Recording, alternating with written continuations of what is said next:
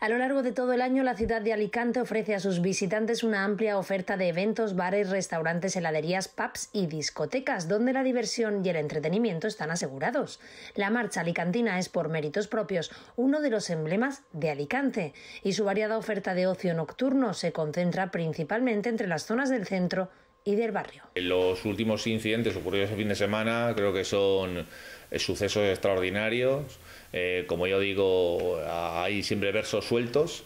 Aquí nos hemos topado con un verso suelto, concretamente, pero creo que eso no es significativo ni representativo del sector. La gran mayoría de pubs y discotecas actuales cuentan con seguridad dentro de sus locales, ya que en ocasiones suele haber conflictos en su interior. Sin embargo, la responsabilidad en cuanto a la alteración del orden en las calles no recae en los propietarios de dichos locales. Pero vamos, al que ha fallecido, la verdad que a nadie se le desea, pero es cierto que el chico eh, tuvo una actitud muy violenta durante toda la noche que creo que la discoteca o el pub tenía que haberse hecho cargo en su momento de eh, la persona que ha fallecido porque hubiese hubiese vamos mediado y hubiese parado lo que ha pasado Hombre, pues hombre, pues que la violencia evidentemente pues no, pues no está bien, pero bueno, también creo que no toda la juventud pues hace este tipo de cosas por la noche, ni tampoco se debería de generalizar, pero bueno,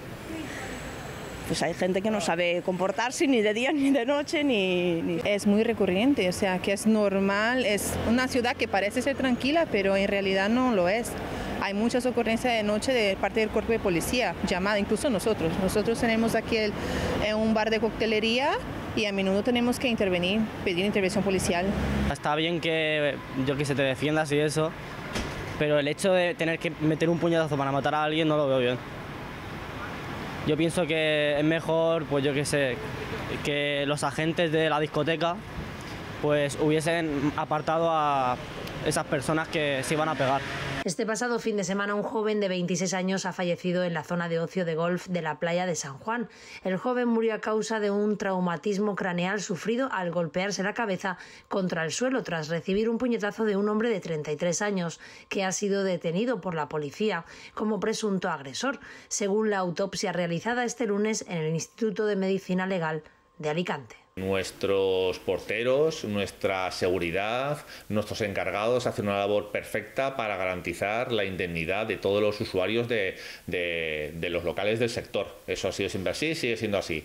Esto que debemos hacer es controlar lo que pasa en el interior de nuestros locales. De nuestros locales hacia afuera, todo lo que ocurre en la vía pública empieza a dejar de ser responsabilidad nuestra. Muchas veces nosotros hemos pedido que nos dejen actuar un poquito más allá, pero claro, eso, la ley de seguridad privada y la legislación respecto a, ese tipo de intervenciones mm, no permite a nuestros trabajadores que hagan esa función. Por lo tanto, de puertas hacia adentro, total seguridad, hacia afuera, entendemos que en los entornos inmediatos son seguros, eh, ninguno estamos a salvo de gente descontrolada.